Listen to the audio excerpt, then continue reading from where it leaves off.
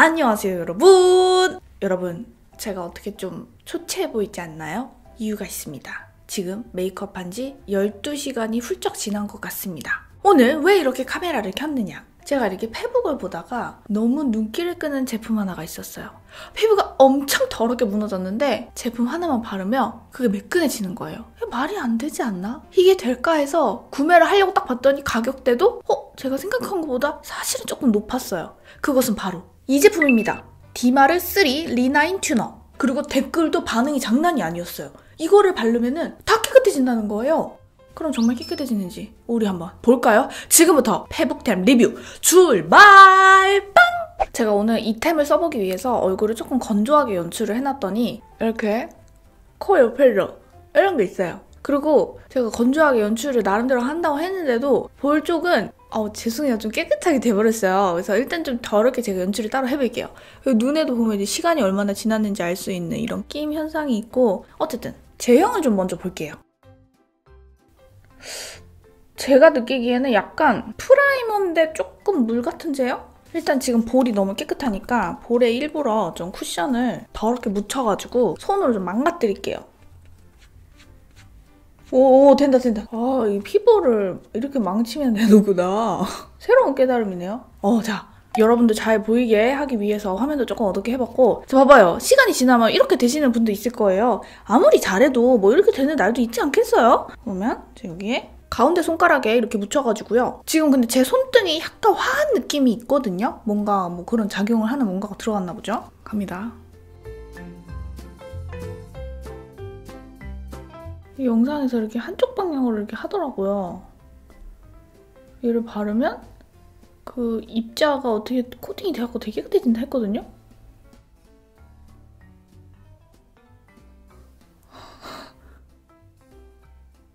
어, 저 이거 원리가 뭔지 알 것 같아요. 약간 평소에 좀 파데를 많이 바르시는 분들은 파데 많이 바른 게 자기들끼리 엉긴 거니까 이런 액체가 좀 닿으면서 아무래도 손에 이렇게 파운데이션이 살짝 닦여 나갈 거 아니에요? 닦여 나가면서 양 조절이 좀 되면서 피부가 매끈하게 되는 그런 효과가 좀 있는 것 같아요. 갑자기 매끈해지긴 했네요. 자 그러면 파데 양이 많지는 않으니까 그 위에는 어떻게 되는지 한번 또 해볼게요. 블러셔는 당연히 좀 지워지겠지만 근데 얘를 써보니까 그냥 함부로 막 만지면 안 될 것 같고요. 그냥 좀 뭔가 내 손터치로 살짝 만져놓고 어느 정도 선에서 손을 떼줘야 될 것 같아요. 얘를 계속 만지기 때문에 당연히 파운데이션이 벗겨지면서 되게 사기 먹었다고 생각하는 그런 아이템이 될 것 같습니다. 어, 지금 보니까 이 정도에서 살짝 만져가지고 그냥 손을 떼야 돼요. 전 되게 벗겨질 것 같은데 생각보다 그렇게 벗겨지진 않았거든요. 진짜 엄청난 키포인트는 살살 해야 된다는 거.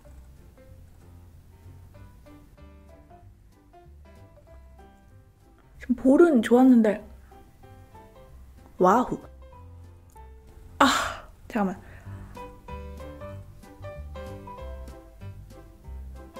석회 이거 어떡하죠? 코 옆은 안 되나요? 어쩔 수 없이 바깥으로 좀 밀려나고 있는데 아 살살 만졌더니 여기는 지금 잘 안 되고 있거든요. 자 그러면 양을 좀 더 묻혀가지고 아예 벗겨내는 스타일로 해볼게요.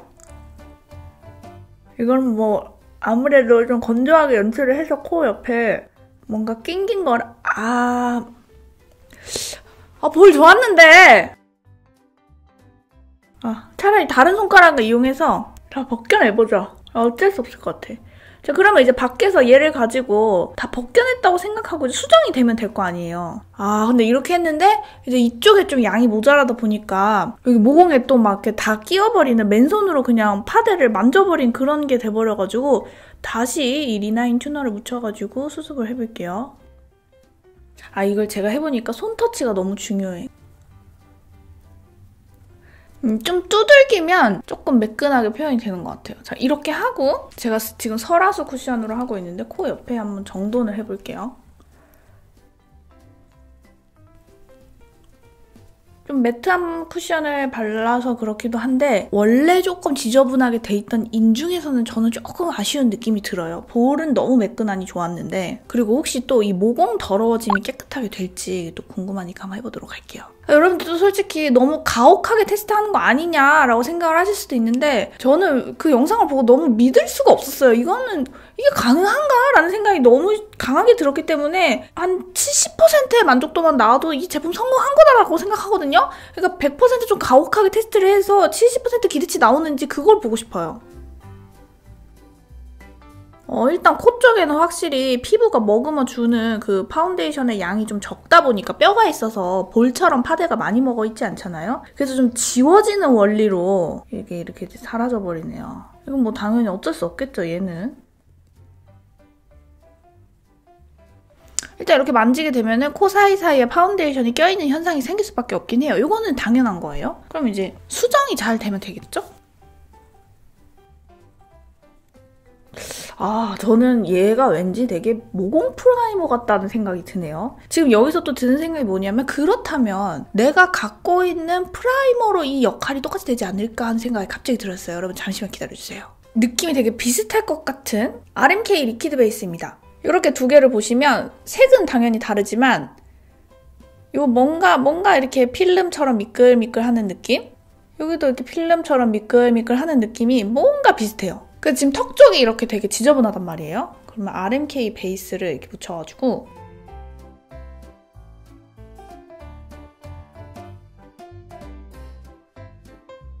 오히려 좀 매끈하게 RMK 베이스가 되게 잘 파데를 지원해주는 느낌은 있네요. 그렇다면 제가 지금 궁금한 게 이렇게 지워내는 건 그래 깨끗하게 된다 치자. 그러면 아까처럼 턱 여기를 더럽게 망쳐볼게요. 이런데 엄청 잘 떡지잖아요. 특히 막 트러블 일어나고 막 이러면은 잘못 만졌을 때 이게 너무 세게 치면은 이런 쿠션이 이렇게 발리는 현상이 생기거든요. 여러분들 만약에 메이크업 하고 시간 지나서 이렇게 되는 현상이 된다면은 아침에 너무 힘을 많이 주고 너무 많은 양의 쿠션이 발려서 이렇게 된다는 것도 참고하시면 될것 같아요. 어... 육안으로 보기에도 요런데 효과는 리나인 튜너가 좀 더 나은 것 같기는 하기도 하면서도 되나? 어... 여러분들 보시기엔 어떠세요? 여기 각질 너무 많긴 했는데 다시 나 잠깐만 여기 한 번 더 해보고 싶어 여기 턱 쪽에 각질 많은데 리나인 튜너 또 되나? 보면은 아 이게 여기에도 만약에 된다면은 확실히 더러워진데 어느 정도 해주는 효과가 있다고 봐야 되거든요. 자 여기도 어거지로 좀 극하게 망쳐봤습니다. RMK 베이스는 제 예상을 조금 빗나가고 안 되네요.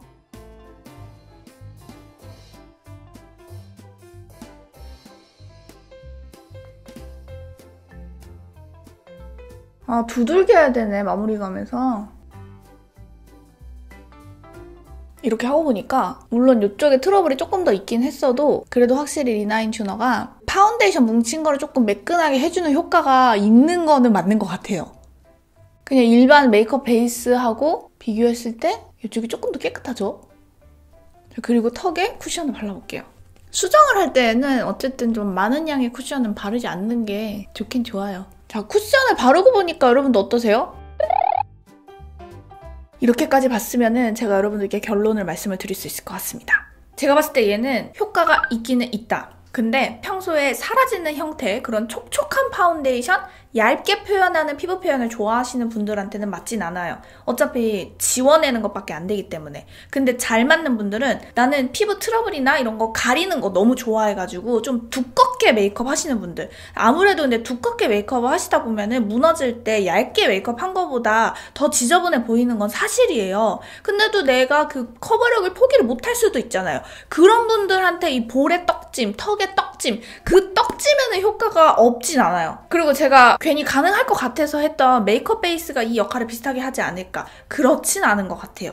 그래도 뭔가 얘가 파운데이션 입자를 어떻게 코팅을 해줘가지고 뭐 한다는 그 이미지를 영상으로 보여주더니 정말 그건 있는 것 같아요. 기름기름한 느낌은 확실히 없어요. 그리고 리나인 튜너의 객관적인 효과는 볼, 턱, 이마, 코 등까지는 효과가 분명히 있다고 저는 생각하고요. 근데 아까 보셨다시피 코 옆에 각질이 막 엉겨서 내 피부 상태가 좋지 않아서 끼인 것까지는 해결을 해주기가 어려운 것 같고 얘로 코 옆에 끼인까지 해결을 하시려면 차라리 힘을 많이 줘서 얘를 이용해서 파운데이션을 다 닦아낸다는 생각으로 사용을 하시는 게 더 좋을 것 같습니다. 그래서 유튜브 추천이냐 비추천이냐 이 얘기 안 할 수 없죠. 하, 정말 좋은 컨셉을 가지고 기술력이 많이 들어간 것 같아요. 이게 파운데이션을 이렇게 한다는 게 쉽지가 않거든요. 그렇게 떡진 걸. 전 이렇게 말씀드릴게요. 나 왕지성이다. 왕 트러블 많다. 그래서 파운데이션 쿠션 양 진짜 많이 바른다. 그래가지고 완전 떡진다. 그런 분들한테는 추천. 효과 분명 있습니다. 그러나 그런 분들 말고 그 나머지 모든 분들은 굳이 이렇게 정리를 하고 싶습니다. 그래서 오늘 이렇게 페북템 리뷰를 해봤는데 여러분들이 궁금한 거 효과가 정말 있을까? 내가 직접 사기에는 가격대가 약간 주춤하게 되고 아 그냥 유튜버한테 부탁하면 해줄 것 같은데 싶은 그런 것들 댓글로 달아주시면 제가 또 찾아보고 구매해서 또 이런 컨텐츠 찍어보도록 하겠습니다. 오늘도 함께 해주신 여러분 감사드리면서 엔딩 멘트하고 마칩니다. 저와 여러분은 모두 모두 소중합니다.